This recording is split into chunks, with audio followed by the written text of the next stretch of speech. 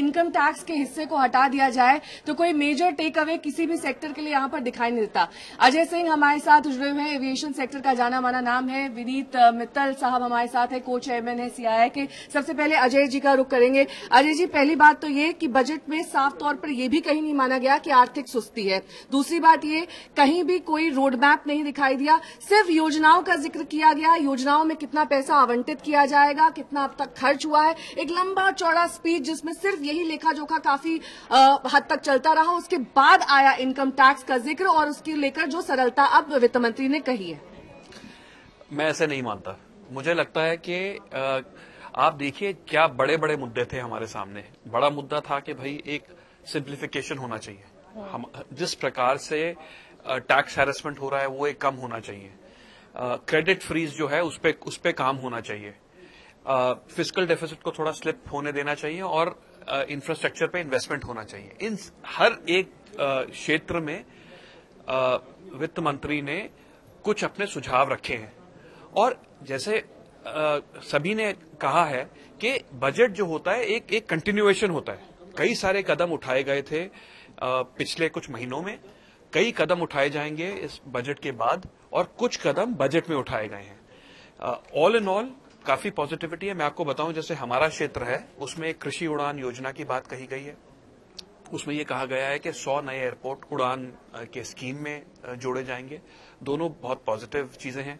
एक tax payer का charter की बात कही गई कही गई है। ये एक बहुत एक तकलीफ़ का मुद्दा है कि कि जो टैक्स हैरेसमेंट हो रही है लोगों की, उसमें बहुत लोगों को तकलीफ़ हो रही है।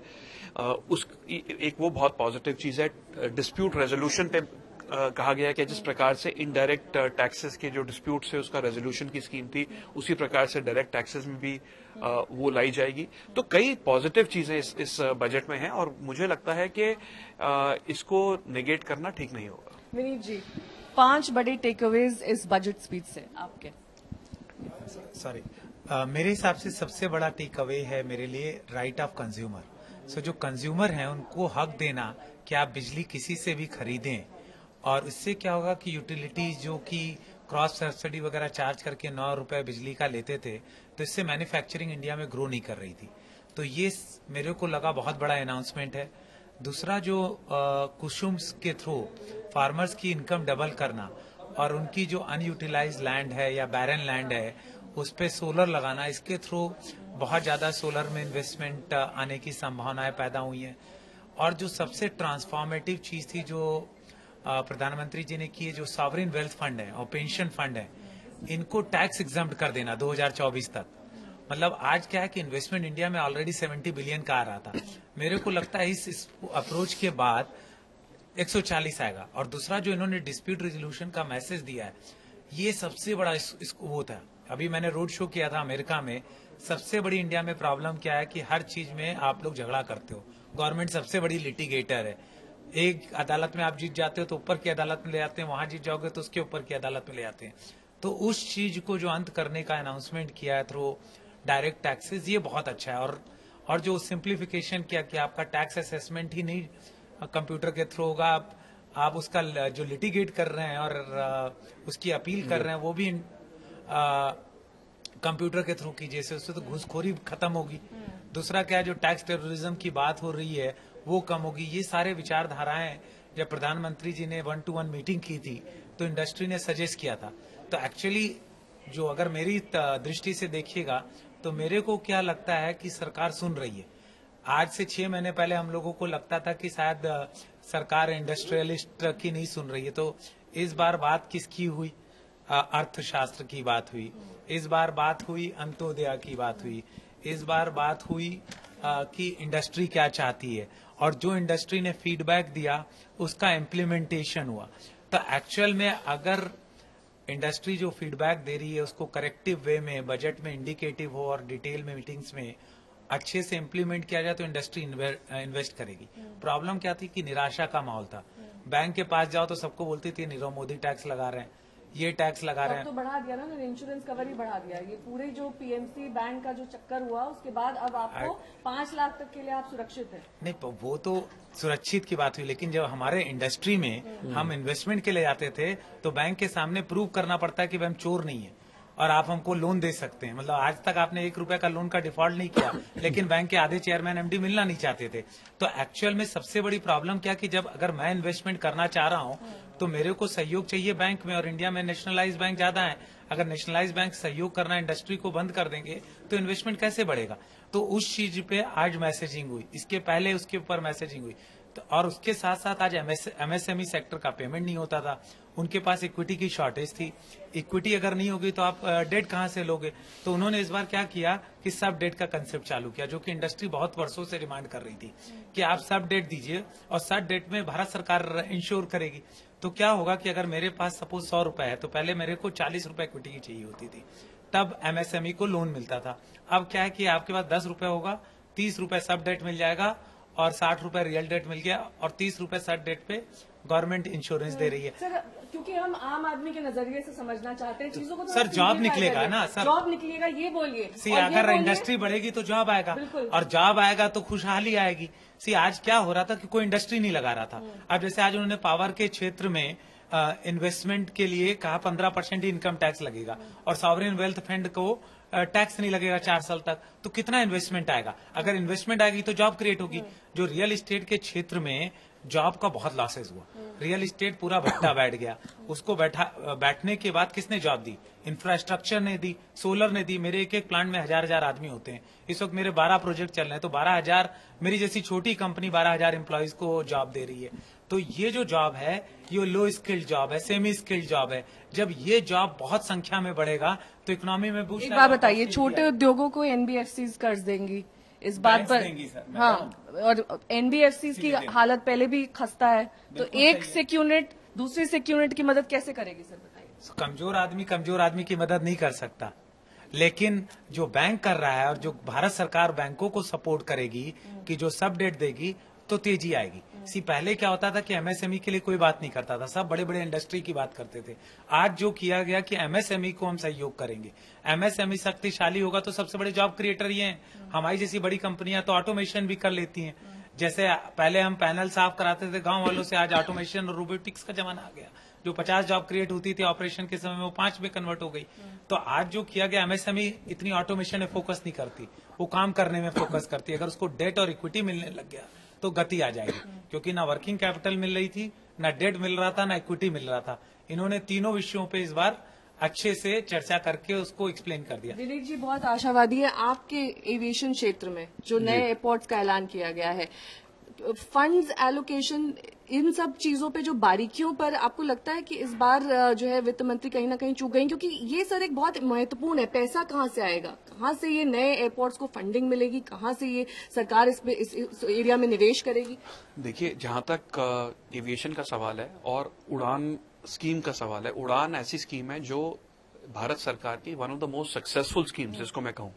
आप देखिए इस स्कीम में 50 एयरपोर्ट केवल पिछले दो वर्षों में 50 एयरपोर्ट जहाँ पर कोई एक हवाई जहाज़ नहीं जाता था, कोई वहाँ से फ़्लाइट नहीं थी, कोई वहाँ से पैसेंजर नहीं थे 50 एयरपोर्ट ज़िंदा हो गए। तो आज जो अनाउंसमेंट हुआ है कि 100 नए एयरपोर्ट उड़ान स्कीम में हम बनाएँगे इसको हम बहुत सीरियसली हमें लेना चाहिए। बहुत हमारे सेक्टर के लिए अच्छा होगा और देश के लिए अच्छा होगा क्योंकि तो आपकी उम्मीदों पर खरा उतरा है क्योंकि देखिए देखिए देखिए कोई भी बजट है उसमें हमेशा ऐसे एक्सपेक्टेशन हो सकती है कि भाई और बहुत हो। लेकिन लेकिन सबसे बड़ी बात इसमें है कि पहली बार जा सकता था, सर, जो missing है? नहीं मैं उस पर टिप्पणी नहीं करूँगा लेकिन मुझे लगता है कि जो सबसे बड़ी कमी हमारे देश में इस समय है वो विश्वास का जो माहौल होना चाहिए वो नहीं है। और पहली बार इस बजट में मैंने सुना कि सरकार इस इस बात पे चर्चा कर रही है कि एक विश्वास का माहौल होना चाहिए। उद्योगपति पे वो विश्वास करेंगे जो टैक्सेशन है उस उस पे जो डिस्प्यूट्स हैं उसको रिजॉल्व करने की कोशिश करेंगे। एक हमें राइट्स देंगे कि भाई अगर कोई टैक्स टेररिज्म टाइप हम चीज़ हमारे ऊपर हो रही है तो हम उसका हमारे हमारे पास भी कोई राइट्स हैं। तो ये जो ये जो अ, सब बातें कही गई ये पहली बार मैंने सुनी अ, सरकार को कहते हुए। तो एक ये बहुत पॉजिटिव सिग्नल है। बिल्कुल, और विनीत जी, आप भी लगातार कह रहे थे कि, देखिए, विपक्ष की ओर से भी हमला आ रहा है। वो कह रहे हैं राहुल गांधी टेन परसेंट जो फोरकास्टेड जीडीपी है, उसकी तरफ़ सड़क कौन सी जाती है? मतलब उसके लिए रोड मैप तो कुछ होगा? अगर आप कोई प्रोजेक्टेड स्कोर देते हैं तो उसके लिए क्या thought process see nominal GDP की निर्मला जी ने बात की है। नॉमिनल जीडीपी क्या होती है कि जीडीपी ग्रोथ प्लस इन्फ्लेशन उस पर ऐड होता है। तो 10 प्रतिशत नॉमिनल जीडीपी मैडम कुछ नहीं है। मतलब वो तो हमारा देश अगर मतलब चलता रहेगा थोड़ा बहुत ठीक से तो भी वहाँ तक हम लोग पहुँच जाएँगे। सो जीडीपी ग्रोथ की प्रॉब्लम नहीं है। जैसा अभी हमारे मित्र अजय सिंह जी बोल रहे थे प्रॉब्लम था विश्वास का। प्रॉब्लम क्या था कि हम इंडस्ट्रियलिस्ट बहुत डरपोक टाइप के होते हैं। हमको क्या है कि लक्ष्मी जी को टेंशन पसंद नहीं है। लक्ष्मी जी क्या है प्रगति तब करते हैं जब वो आप हम लोग सबसे पहले सुबह उठ के क्या बोलते हैं? हम बोलते हैं ब्रह्मा मुरारी त्रिपुरांतकारी क्यों भान- भगवान को सब सरेंडर करते हैं? क्योंकि हमको लगता है हमारे में क्षमता अगर सब कुछ होती तो हम हम और ज़्यादा सुपर सक्सेसफुल होते। लेकिन आज जो विश्वास पैदा किया जा रहा है आज सरकार क्या बोल रही है हम आपकी रिस्पेक्ट करते हैं। अगर सम्मान मिलेगा और भय नहीं मिलेगा तो हम और इन्वेस्ट करेंगे। सी हमको भी प्रगति अच्छी लगती है। आज क्या हो गया था लास्ट दो साल से हम लोग फेंस पे बैठते थे। इन्वेस्ट नहीं करते थे। लोग डरते थे कि इन्वेस्ट करेंगे बॉल भट्टा हो गया, सरकार कोर्ट में ले जाएगी, कोई सुनवाई नहीं होगी। लेकिन सुनवाई वापस चालू हो गई है। और वही मैसेज आज बजट के थ्रू आ रहा है खुल के। और उसके साथ साथ मेरे क्षेत्र में अगर देखिए तो सबसे बड़ी प्रॉब्लम क्या थी कि डेवलपमेंटल फाइनेंशियल इंस्टीट्यूशन नहीं है। बैंक्स बोरो करते हैं शॉर्ट लेंड करते हैं लॉन्ग उनमें वो क्षमता थी नहीं। आज मैडम ने वैसे केवल पच्चीस हज़ार करोड़ बोला है करेंगे, लेकिन पच्चीस हज़ार करोड़ को दस टाइम लिवरेज होता है क्योंकि भारत सरकार के इंस्टीट्यूशन होंगे। तो ढाई लाख करोड़ का अगर सालाना डेट और मिलने लग गया डेवलपमेंटल फाइनेंशियल इंस्टीट्यूशन से तो उससे प्रगति आएगी। आपने 130 लाख करोड़ का संकल्प लिया है कि इंफ्रास्ट्रक्चर के अंदर डालेंगे। लेकिन भारत सरकार तो सब कर नहीं सकती। करना प्राइवेट सेक्टर को है। प्राइवेट सेक्टर को इक्विटी और डेट दोनों चाहिए। दोनों समस्याओं का समाधान उन्होंने किया कि अगर पेंशन फंड को इनकम टैक्स नहीं लगेगा लॉन्ग टर्म कैपिटल गेन नहीं लगेगी तो वो तुरंत इंडिया में आएँगे। उनका इन्वेस्टमेंट और एलटीसीजी को तो एड्रेस किया है। हाँ तो किया ना मैं वही मैं बताना चाह रहा हूँ कि आज उन्होंने अनाउंस करके सॉवरेन वेल्थ फंड को और पेंशन फंड को एक तरह से सम्मान दिया और उसके बाद एफपीआई को इंफ्रास्ट्रक्चर डेट फंड में आने के लिए अलाउ कर दिया। और दूसरा चीज़ क्या है एनआईएफ की चर्चा चार वर्षों से हो रही थी। अभी तक उन्होंने कोई ज़्यादा कार्य नहीं किया था। आज बिल्कुल क्लियर कट हो गया कि इंफ्रास्ट्रक्चर डेट फंड भी करेंगे और इंफ्रा में इन्वेस्ट करेंगे बिल्कुल अंजना हमारे साथ विनीत मित्तल जी हैं को चेयरमैन है सीआईआई के। विनीत जी ये बताइए तीन बड़े टेक अवेज आज के बजट से और क्या आपको लगता है कि खपत और मांग जिसकी सबसे ज़्यादा ज़रूरत थी सुस्त इकोनॉमी को रफ्तार देने के लिए वो बढ़ेगी आज के इनकम टैक्स रिफॉर्म से? आज के इनकम टैक्स रिफॉर्म से ज़्यादा एक्चुअली विश्वास से होगी। लोगों के पास पैसे की कमी नहीं है। इच्छा शक्ति कमज़ोर पड़ गई थी। क्योंकि भय था कि कल क्या होगा कल इकोनॉमी कैसी होगी। आज जो डायरेक्शन दिया इससे उम्मीद जागृत होती है कि शायद अच्छा होगा। और दिशा जो है, परिवर्तित हो रही है और लोग व्यापार करने वाले को कष्ट देने के बजाय फैसिलिटेटिंग करेंगे। ईज ऑफ़ डूइंग बिज़नेस की बात बहुत होती थी ईज ऑफ़ लिविंग की बात बहुत होती थी but cost of doing business पिछले पाँच वर्षों से बढ़ता चला जा रहा था। अगर उसमें रियल सेंस में सुधार होगा तो इस इकोनॉमी को पाँच ट्रिलियन बनने से कोई नहीं रोक सकता। एक्चुअली मेरे से हिसाब से 130 करोड़ का देश अगर पाँच ट्रिलियन की इकोनॉमी नहीं बनेगा तो कौन बनेगा?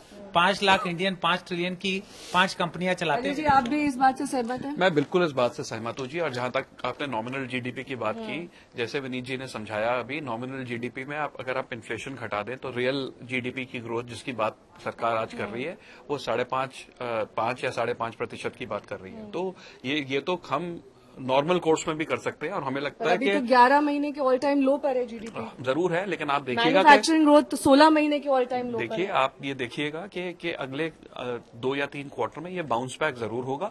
पाँच साढ़े पाँच प्रतिशत तो कुछ भी ग्रोथ रेट नहीं है। आप हमें तो छह साढ़े छह कम से कम एम करना चाहिए और आने वाले वर्षों में सात साढ़े सात प्रतिशत से कम रियल जीडीपी ग्रोथ उससे कम हमारी होनी नहीं चाहिए नहीं तो we will fail as as a country ठीक है आप दोनों का बहुत बहुत शुक्रिया।